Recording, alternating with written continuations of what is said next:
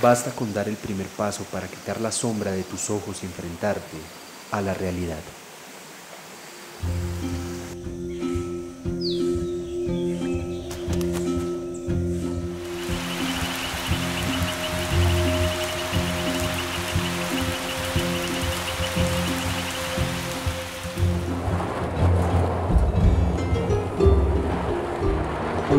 A llevar a uno de los lugares más señalados, estigmatizados y temidos de Colombia. La compañera a nuestra izquierda es la abundante y vigorosa cordillera oriental. En el camino los pensamientos son muchos. La imagen que hemos tenido de este lugar no ha sido la mejor.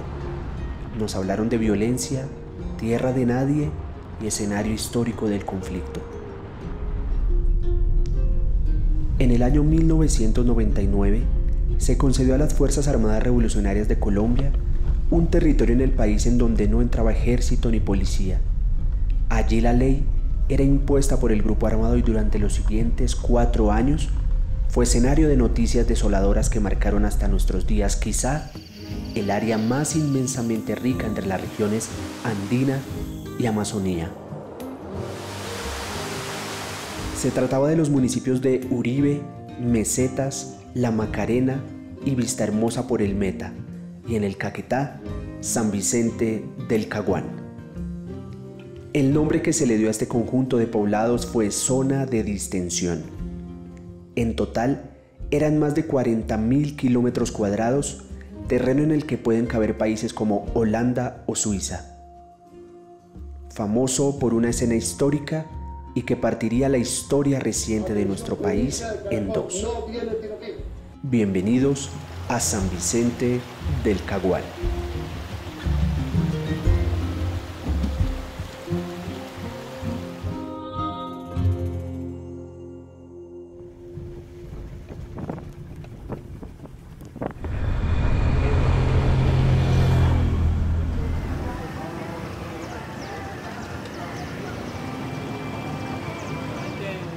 La colonia Rafleor y llegada a San Vicente.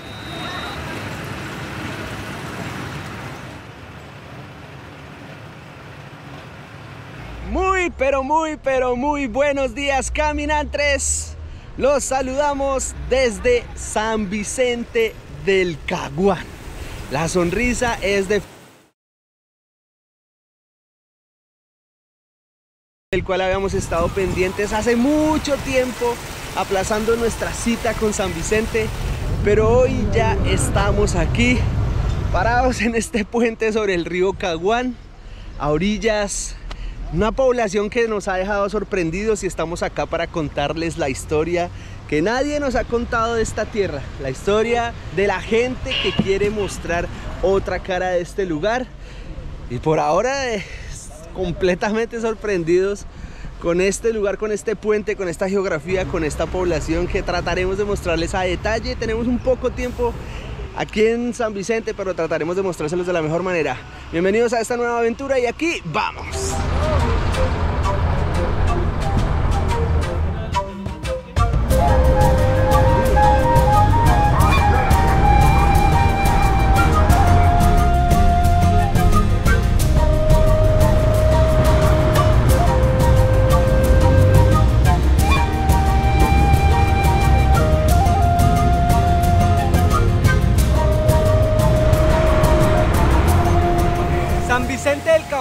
Segundo municipio más comercial que tiene el Caquetá después de su capital Florencia.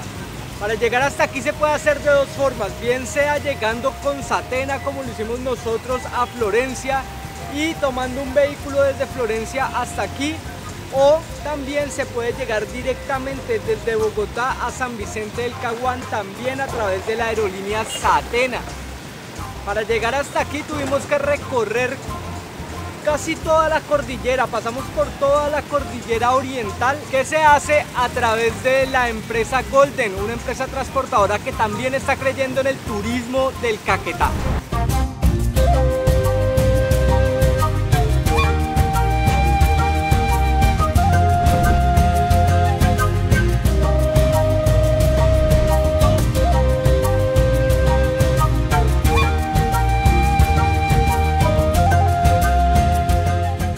Esa carretera que ustedes acaban de ver es la que nos comunica con la reserva El Pescador a tan solo 37, 38, 39 kilómetros del casco urbano de San Vicente del Caguán por la carretera que nos conduce hasta Neiva, vía Valsillas. Así es, se puede llegar de San Vicente a Neiva por carretera, no en tan buenas condiciones, pero con un poco de tiempo menor al que se gastaría llegando uno desde Florencia. Aquí en esta reserva sí que tenemos cosas por mostrarles, por contarles y vamos tras un escenario de la naturaleza que empieza a tomar muchísima fuerza en el turismo que llega hasta estas regiones del Caquetá. Así que bienvenidos, les vamos a presentar a los protagonistas de esta historia del día de hoy. Bienvenidos a la reserva El Pescador.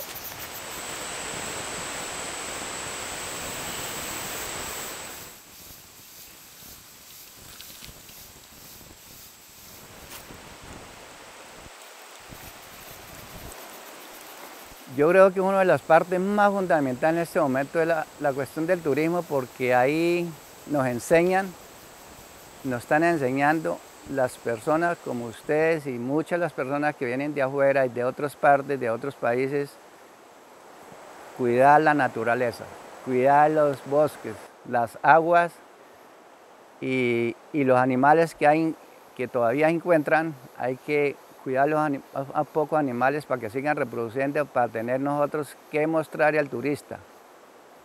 Que las aves, que los micos, que las marimbas, que los chigüeros, las dantas, todos los animales todavía se encuentran acá, borugos, guaras.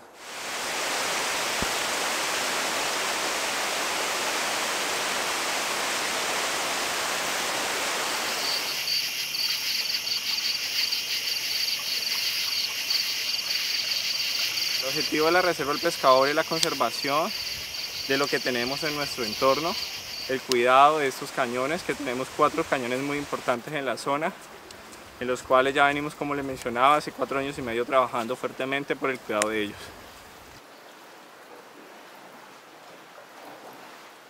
Pues no es tan fácil porque siempre, como tal, yo he sido de, finca ganadera, Mi, mis padres nos crió en este tema del ganado y y sigo siendo con la finca ahí que tengo de ganadería. Pero sí, ha sido una experiencia muy bonita. Igual pues aquí estamos trabajando, dándole un ejemplo bueno a los, a los hijos y ellos son los que más adelante van a, a quedar como dueños de este sitio acá. Entonces nosotros también lo que queríamos era que no fuera solo la ganadería que contamina también tanto el medio ambiente, sino que fuera algo que se pudiera hacer sin necesidad de tumbar el bosque para poner los pastos y eso, sino que antes se cuidara el bosque. Aquí hemos sembrado mucho árbol nosotros. Nosotros como Reserva de Pescado nos especializamos solamente en turismo de naturaleza y vamos a hacer un, eh, un sendero que se llama el sendero en el cañón de Aguas Claras. Es el único cañón en el cual podemos andar.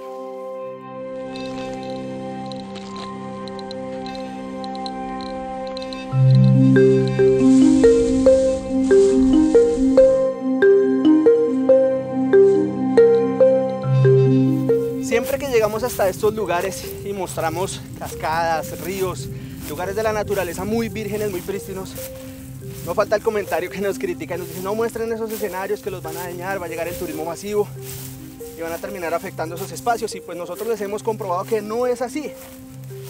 Gracias a lo que nosotros hemos mostrado se han fortalecido los procesos de turismo y así como se fortalece el proceso, son muchos más los esfuerzos por cuidar el lugar.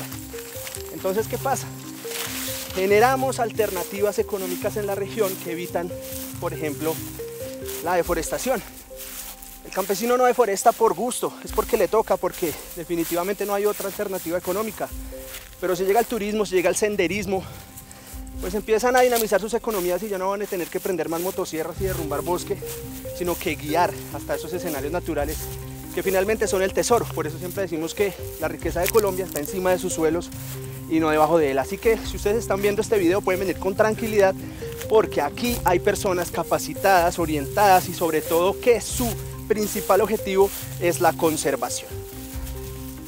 Cuando uno está caminando por los potreros es que más se da cuenta de la función que tienen los bosques para la tierra. Los bosques tienen la función de enfriar la tierra.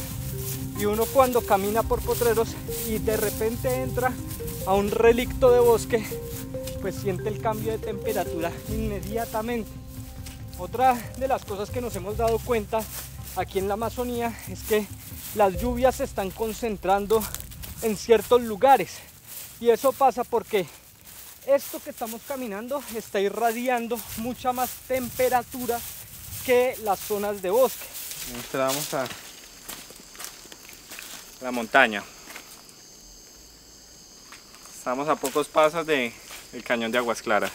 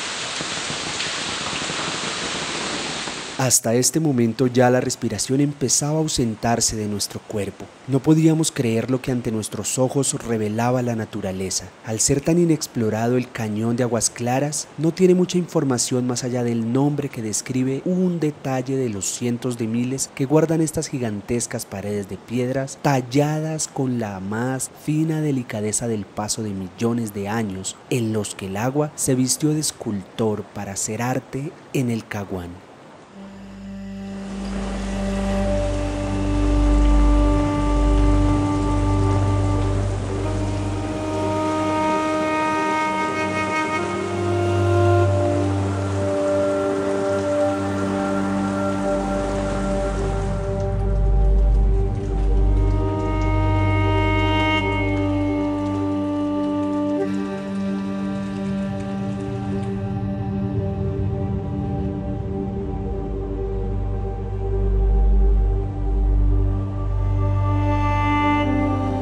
Vegetación, fauna, vida, selva se encontraban en un mismo lugar y nosotros, unos insignificantes humanos a merced de la temperamental manigua que esta vez nos acogía en sus entrañas, aun cuando pensábamos que el cañón había sorprendido por completo nuestra corta intuición, develaba ante nuestra cámara su templo en el que no queda más que admirar y tratar de entender nuestro corto paso por este mundo.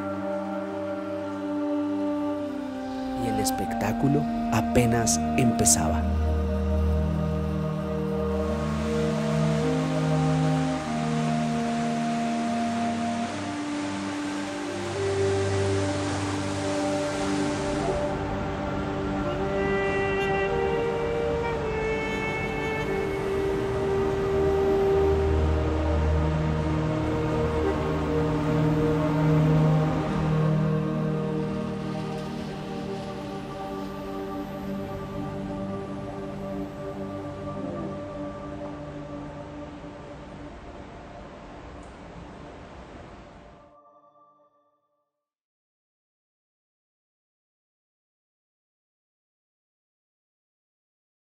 Estamos esforzándonos bastante, en serio, para llevarles estas imágenes. Por aquí abajito hay un botón de donaciones porque vamos a necesitar llegar a hacerle mantenimiento a estos equipos. Y no, aparte de eso es para poder contribuir a Colombia, llegando a estos lugares, llevándole las historias, por ejemplo, a Anderson y su familia. Gracias a, a este trabajo, pues hemos logrado salvar comunidades, hemos logrado salvar tesoros de la naturaleza, pero pues eso tiene un costo indudablemente. La idea es financiar esto 100% por la monetización de los videos, pero a veces no es suficiente. Así que si ustedes consideran que este trabajo aporta al mundo y desean donarnos desde un dólar, por aquí abajo hay un botoncito con un corazón, ahí lo pueden hacer. Muchas gracias. Estaremos muy agradecidos. Bastante agradecidos. Esta labor es muy compleja, la hacemos con todo el corazón, con todo el alma, con todo el cariño hacia las comunidades. Para los que no saben, eh, nosotros no cobramos absolutamente nada por el trabajo que hacemos a las comunidades. Eh, simplemente pues las comunidades eh, nos llaman y nosotros pues salimos corriendo buscando ayudar porque pues si esto no se protege y se pierde pues pierde el mundo. Pero pues obviamente eso necesita un aporte económico, ¿no? Y pues nosotros queremos que ese aporte económico venga de las redes sociales para que así podamos hacer de esto un trabajo sostenible. Esa es nuestra idea y nada, proteger esto y a las comunidades que habitan estos territorios.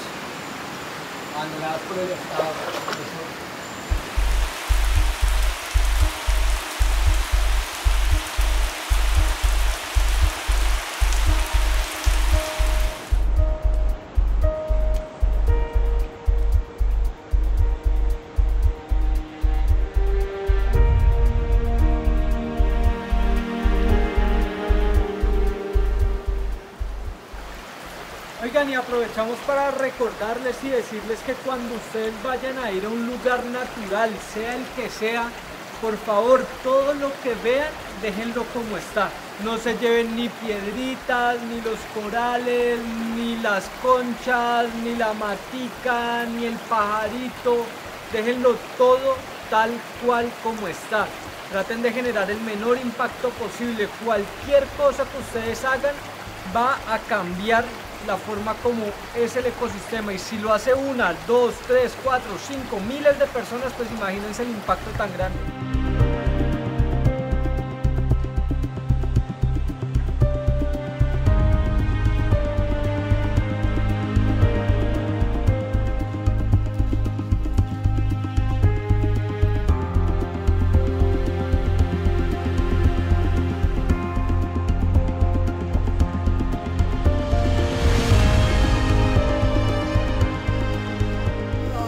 Cayó la tarde, disculpen la luz, cielo completamente despejado, la mitad de la luna que se deja ver en el firmamento.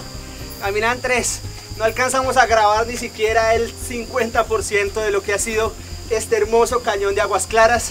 Salimos siendo las 6 de la tarde y esto ha sido algo hermoso. Los invitamos a que vengan hasta acá porque sabemos que las imágenes no le hacen justicia a este paraíso.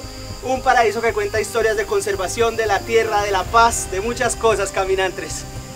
Una vez más gracias por habernos acompañado en una de nuestras travesías. Como les dijimos a la mitad de este video, recuerden que si quieren patrocinar a los caminantes para que sigan visibilizando los destinos de Colombia, los invitamos a que hagan una pequeña donación o si la quieren hacer grande, también bienvenida. Por ahora me despido, recuerden suscribirse a este canal, venir hasta acá, conocer a Anderson y nos vemos en una próxima aventura. ¡Nos vemos!